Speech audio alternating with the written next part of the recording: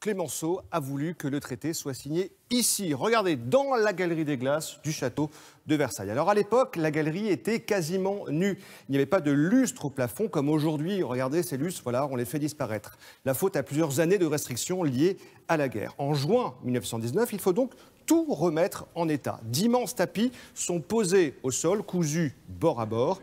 Des banquettes également sont installées au fond. Regardez, on les voit là-bas pour accueillir les nombreux journalistes accrédités. Et au milieu de la galerie, des grandes tables drapées de rouge sont dressées. Elles doivent accueillir les 27 délégations. Au centre, un magnifique bureau Louis XV. C'est sur cette table qu'est déposé le traité. 436 pages, 440 articles. Et chaque signataire, il y en a 67, devra se déplacer à ce bureau pour imposer sa signature. Et alors, on est le 28 juin, Nicolas. Qui est autour de la table? Il y a du monde? Ah oui, il y a vraiment beaucoup de monde. Hein. Cette salle, cette galerie des glaces, elle est bondée. C'est la foule des grands jours, comme vous pouvez le voir d'ailleurs sur euh, cette image de l'époque. Et à 15h10, il n'y a vraiment plus une place de libre. Et regardez, sur la grande table derrière moi, trois hommes véritablement dominent la scène. Assis à gauche, vous avez le président américain Woodrow Wilson. À droite, vous avez David Lloyd George, le Premier ministre britannique. Et au centre, évidemment, Georges Clemenceau, le tigre. C'est lui, au nom de la France et des Alliés, qui va ouvrir la séance. Et à ce moment-là, dans un grand silence, les représentants allemands arrivent. Regardez, on les voit arriver là-bas du fond de la galerie. Ils sont escortés par des militaires alliés. Hermann Müller est le premier euh, ministre des Affaires, le nouveau ministre des Affaires étrangères allemand. Et Johann Bell est encore, était encore ministre des colonies du Une semaine plus tôt. Ce sont eux qui vont signer en premier le traité. Alors, ils veulent partir, évidemment, une fois qu'ils ont signé, mais on les oblige à assister à toute la cérémonie.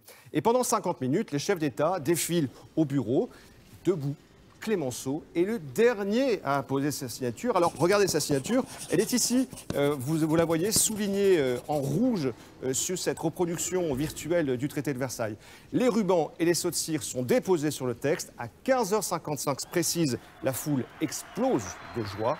Pourquoi? Eh bien parce que le traité de Versailles est enfin signé. Nicolas, c'est à vous. Oui, le traité de Versailles est vraiment négocié entre les alliés vainqueurs et il attribue à l'Allemagne la responsabilité de la guerre. Elle doit donc payer. L'ancien Reich allemand est ainsi amputé de 13% de son territoire. Regardez, on va le voir ici sur cette carte. Regardez, la première mesure, c'est l'Alsace-Lorraine qui redevient évidemment française presque 50 ans après son annexion par l'Allemagne en 1871. La Belgique récupère les cantons, d'Eupen et Malmedy. Et pour sécuriser la frontière, la rive gauche du Rhin, que vous voyez ici en vert, sera occupée par les Alliés pendant 15 ans. Au nord, le Danemark reprend une partie du Schleswig.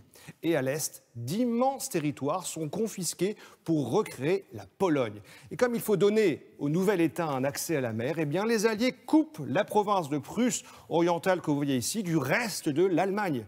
Le Reich perd aussi toutes ses colonies. Regardez sur cette carte, Cameroun, Togo, Namibie, Tanzanie passent tous sous contrôle français ou britannique. C'est la fin de l'empire colonial allemand. Julien.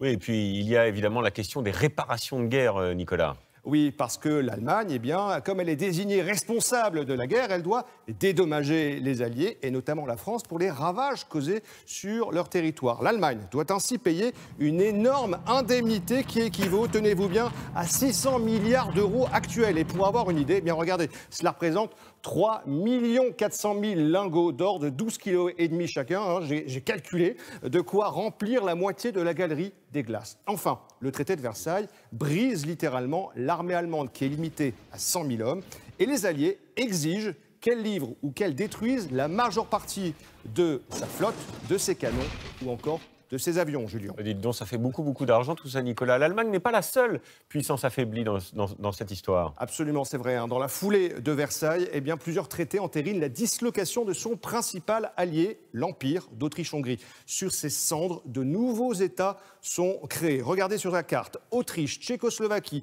Hongrie, euh, Yougoslavie, Pologne, les frontières de l'Europe centrale sont redessinées. À Versailles, les empires s'effondrent, mais les peuples grondent.